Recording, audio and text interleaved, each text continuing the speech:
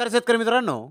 आत्ताच्या व्हिडिओमध्ये आपण महत्त्वाची बातमी पाहणार आहोत की कांद्याचे बाजारभाव हे घसरलेले आहेत. तर मित्रांनो या संदर्भात कांदा व्यापारी नेमके काय बोलत आहेत? तसेच लासलगाव कृषी उत्पन्न बाजार समितीचे सचिव नरेंद्र वाडवणे यांची नेमकी प्रतिक्रिया यावरती काय आहे? सविस्तर आपण या व्हिडिओमध्ये त्याची माहिती पाहणार आहोत.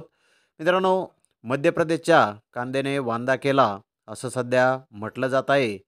कारण अहमदनगर जिल्ह्यातील बाजार समित्यामध्ये दहा दिवसापूर्वी तीस रुपये किलोवर असलेले कांद्याचे दर हे आता कोसळलेले आहेत.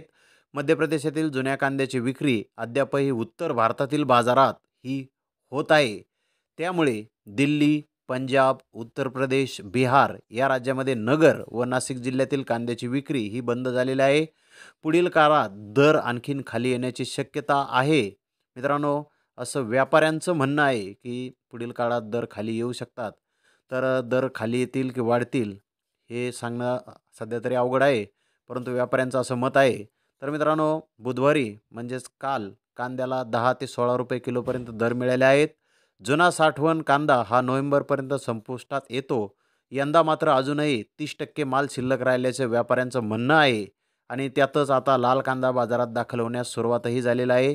डिसेंबरच्या पहिल्या व दुसऱ्या आठवड्यामध्ये हा कांदा मोठ्या प्रमाणावर येऊन दरात घट होईल. असंही व्यापाऱ्यांचं म्हणणं आहे. तसेच मध्य प्रदेशमध्ये कांद्याचे उत्पादन हे वाढलेलं आहे. त्यामुळे बिहार उत्तर प्रदेश पंजाब हरियाणा येथील बाजारपेठेत तो कांदा टिकून आहे. त्या तुलनेमध्ये मध्य प्रदेशचा कांदा दोन ते चार रुपये हा त्यांना स्वस्त मिळतो. श्रीरामपूर येथील कांदा उत्तर भारत व दक्षिण भारतामध्ये समसमान विक्री हा होत असतो. आता मात्र उत्तरेत केवळ दहा टक्के माल रवाना होतो अशी माहिती व्यापारी जितेंद्र गदिया यांनी लोकमतला बोलताना दिलेली आहे.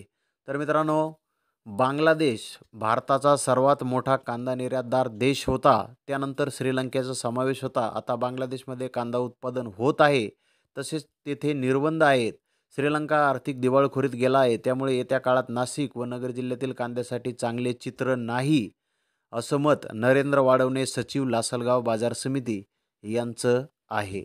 तर मित्रांनो आपलं काय मत आहे? कमेंट बॉक्समध्ये नक्की आपण यावरती आपलं मत नोंदवायचं आहे. तर धन्यवाद मित्रांनो आपण माझा व्हिडिओ शेवटपर्यंत पाहिल्याबद्दल. व्हिडिओ आवडल्यास लाईक करा.